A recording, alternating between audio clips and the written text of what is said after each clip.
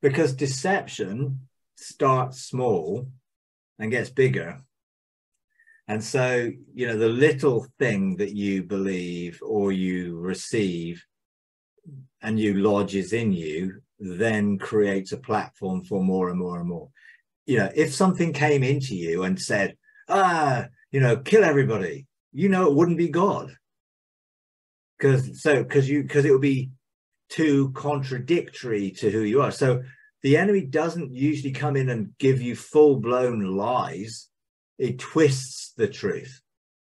Small little twistings of the truth. So those prophetic people who are now, I totally agree, prophesying complete lies out of their own soul are being deceived because they received little deceptions and then those little deceptions began to build and build and build. So they began to listen to the lies thinking it was the truth and therefore couldn't hear the truth.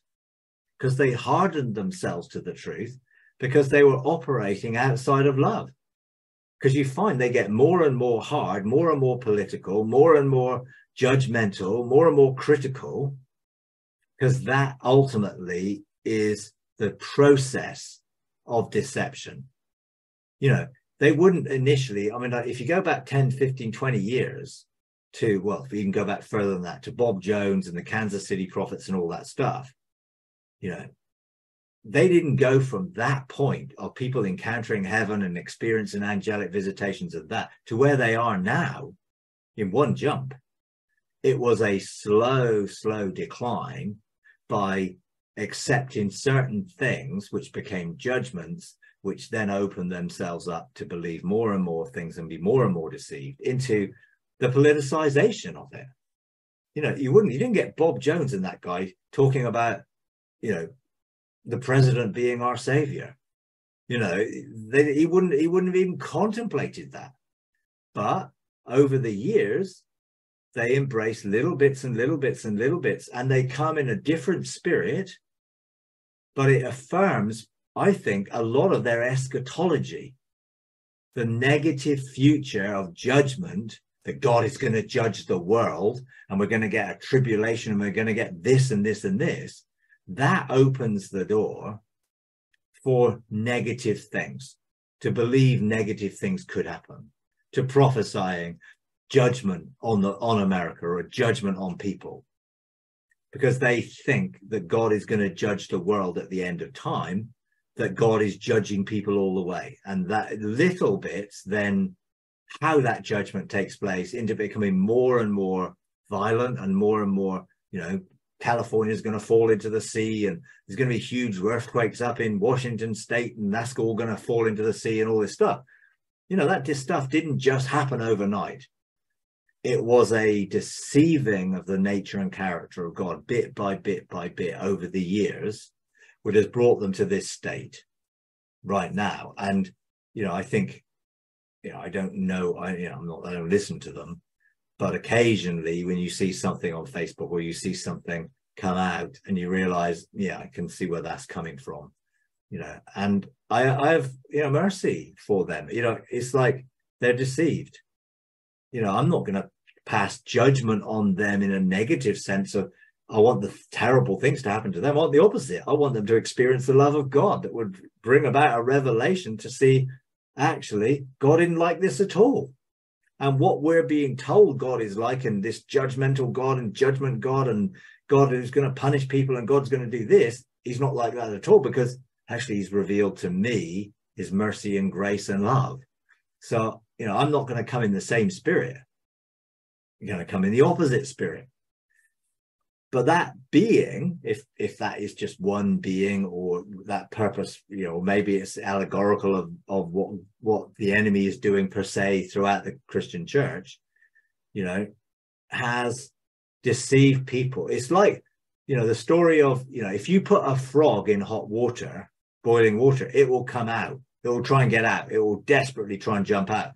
If you put a frog in cold water and you heat it up little by little by little by little, it will stay in that hot water until it's cooked because it's little increments of change. That it doesn't have a huge oh, this is cold to hot. I need to get out of it. So the enemy's very clever. He deceives people little by little by little by little. And that is what the demise of the prophetic movement has been little by little by little. And there are certain things along the way that were signs that they were moving further and further away from the love of God. One would have been the excommunication of the vineyard all those years ago. Because why would did they do that? Because they that was starting point to this isn't this isn't our values and whatever and, and whatever. And that's usually that was exactly what john wimber's values were.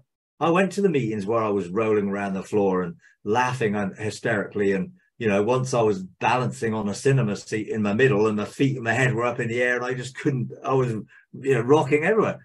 You know it, and but then all of a sudden no no this is wrong now. You know and that that then becomes a infiltration into judgment of others and then eventually you find out that the same thing that happened to them, they then started to judge others in, in the bigger partners in harvest thing. So they then made judgments to excommunicate people who believed in mystical stuff. You know, and that's that's the thing.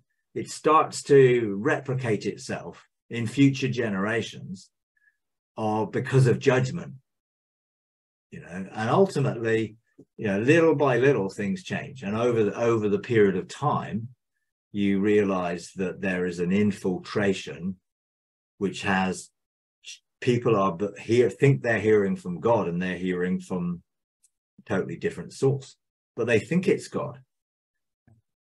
They would have never listened to that source 30 years ago but they are listening now because there's been this eroding of who God is and everything, and and becoming more aggressive, spiritual warfare. All of this, you know, you know, when I was in the 70s, whatever, they didn't have spiritual warfare. I mean, you were coming out of the Jesus movement, you know, in the 70s. It was like peace and love, man, you know, and then all of a sudden you start maturing so suddenly, and it, well, no, you're actually going from more and more away from the simplicity of peace and love and now all of a sudden, now you're coming out with these judgments and these sort of things that are happening because it moved more and more away from the simplicity and it became more complicated.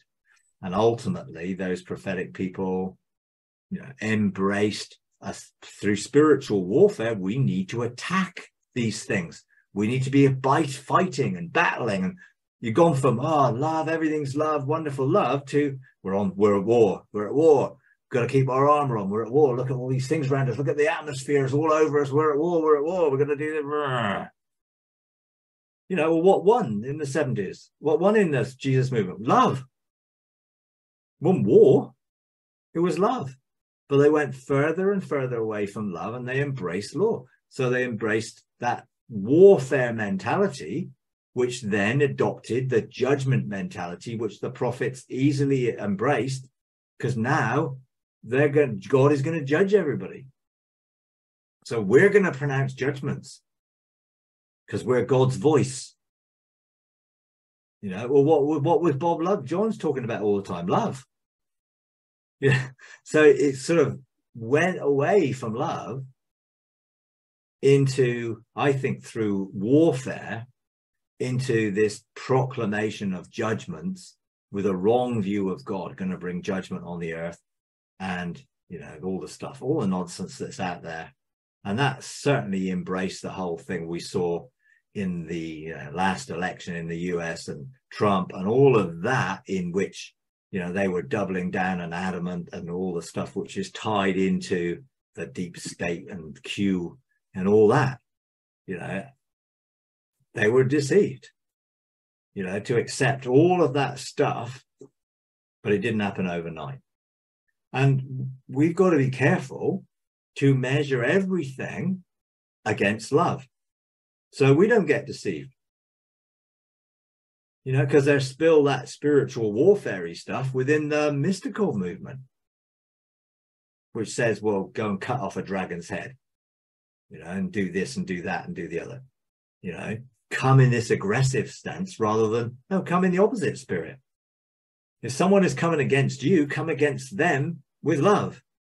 Come in the opposite spirit. In fact, you don't come against them at all. You embrace them and you love them into change. You're not going to try and threaten them into change or get them to change because you're making judgments against them. Restoration is God's desire. So he's going to restore all things. He's not going to separate all things. And and in a sense, you know, in this scenario, thinking that God's got this mission to come against this thing actually is is actually just going to replicate it. What what you have to do is see if that being is a fallen being, then restore it to what it's originally doing, and it wouldn't do that anymore. But if you try and stop it, fight against it, all you're doing is giving it an opportunity to fight. You know, I'm not going to fight against anything because if I give it an opportunity to fight, it will fight against me. So I'm not going to fight it. So what am I going to do? Come in the opposite spirit. Look to see that being restored. I'm sure that would have probably had a revelatory purpose originally, which was to reveal the true nature of God, which is now deceiving people into a false nature of God you know, and therefore, what was its original purpose? How has it been twisted and let's help restore it?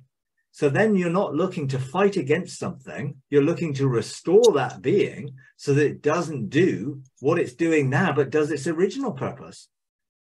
Even in even in the whole thing of, well, God's given me this mission to deal with this and come against it.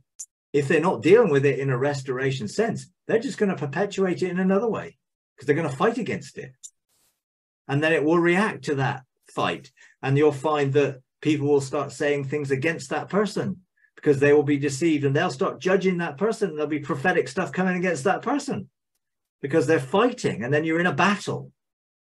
Whereas I'm not going to fight against something and giving an opportunity to fight against me when all I'll look to do is remind it who it is and remind it that God has forgiven it and remind it that it's got a higher purpose and a, uh, restored purpose into its original purpose, which is so much better than what it's doing right now. You know, and if you come in that spirit, you can begin to break down the barriers that are put up by we're going to fight this thing because it doesn't mind being fought against because you're effectively creating tension, you're creating conflict, you're creating negative environments by fighting against something that God wants to restore. So I, yes, get the revelation that there may well be something in the prophetic movement which is absolutely deceiving them and maybe a counterfeit to the Holy Spirit. But what was its original purpose? And if we can help discover what that is and bring it back to that, think of think of all the good the prophetic movement could be doing if they weren't deceived and they had a revelation of love. Because inherently they want to do good. They're just deceived in thinking that they are doing good when actually they're causing a lot of damage and a lot of harm to a lot of people. Yeah, I think what God does often there's a revelation of something that you begin to embrace, but you you embrace it out of your own understanding and you try and sort of uh, put it into a how does this work functionally? And so you try and help it function. Now, do I believe in government? Absolutely. Do I believe in foundational government? Absolutely.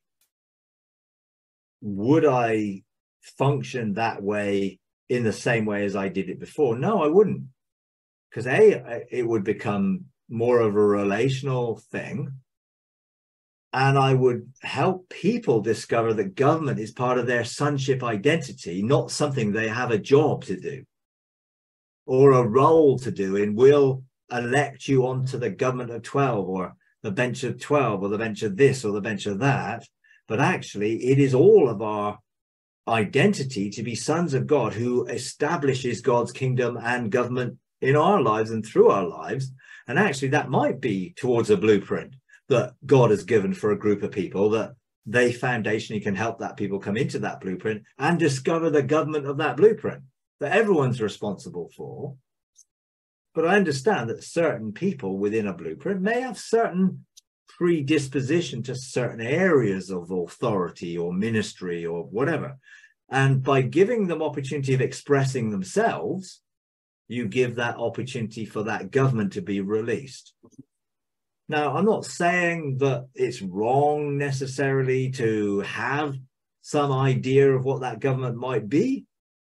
But if you find it's more organic and more relational, you'll find that it's working anyway, because you're releasing people to be themselves rather than bringing them into this position and then you try and get them to fulfill the role or job description for this position.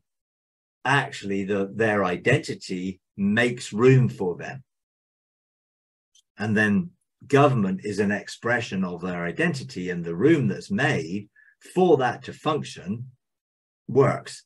And ultimately you don't want to try and make someone fit into something that they're not but help them to be who they are. And if everyone is who they are then everything will be outworked in a governmental way authority through love.